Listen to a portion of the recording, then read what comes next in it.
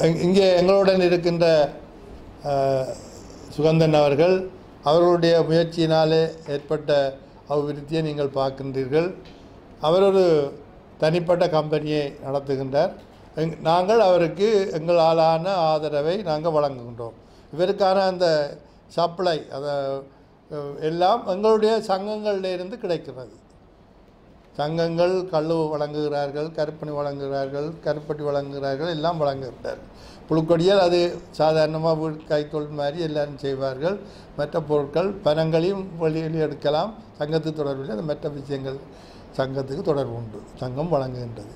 இவர்களுக்கு இவர்களுடைய நடவடிக்கைகளில் ஏதாவது பிரச்சனை வந்தால் அதை தீர்த்து கொடுக்குறதுக்கு பணியாபத்தி சபை என்ற ரீதியில் நாங்கள் பூரணமான ஒத்துழைப்பை அவர்கள் வழங்குகின்றோம். அவர்களுடைய வளர்ச்சியை நீங்கள் இங்கே பார்க்குறீர்கள். இந்த செய்தியை நீங்கள் எங்களுடைய மக்களுக்கு நீங்கள் கொண்டு செல்ல வேண்டும். பலர் பணம் வைத்திருக்கின்றார்கள். என்ன செய்கிறேன்னு தெரியாமல் இருக்கின்றார்கள். எங்களுடைய ஆட்களில் ஒரு பழக்கம் இருக்குது யாராவது ஒரு வேலையை செய்தால் அதை கொப்பி அடித்து கொண்டு இருப்பது. திருமண மண்டபம் கட்டினா திருமண மண்டபம் தான். ஆலயம் கட்டினா அதிலே ஒரு வருமானம் வருதுன்னா எல்லோரும் ஆலயம் கட்டுவார்கள்.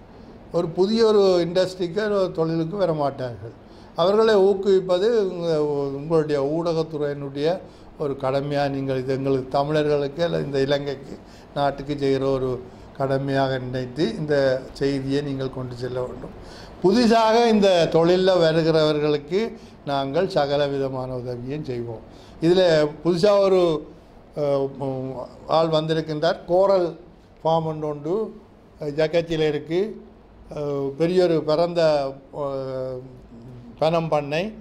அவர்களும் இப்படியான வேலைகளை செய்கிறதுக்கு போகிறார்கள். நாங்கள் எங்களுடைய பயிற்சியை கொடுக்கின்றோம். அப்படியானவர்களை எங்களுடைய சங்கங்களாக எங்களுடைய உற்பத்தி சங்கங்களாக பதிவு செய்திருக்கின்றோம்.